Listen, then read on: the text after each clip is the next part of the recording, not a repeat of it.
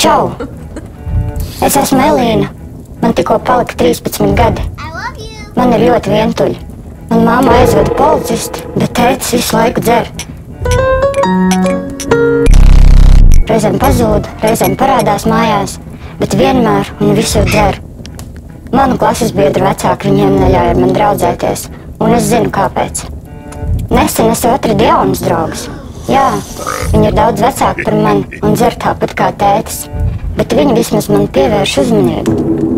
Viņi reizēm dara man pāri, man sāp, bet viņi ir vienīgie draugi, kas man ir.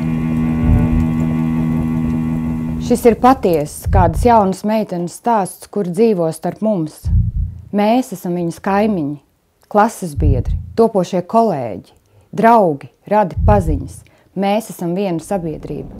Mani sauc Inga, un es esmu mēs.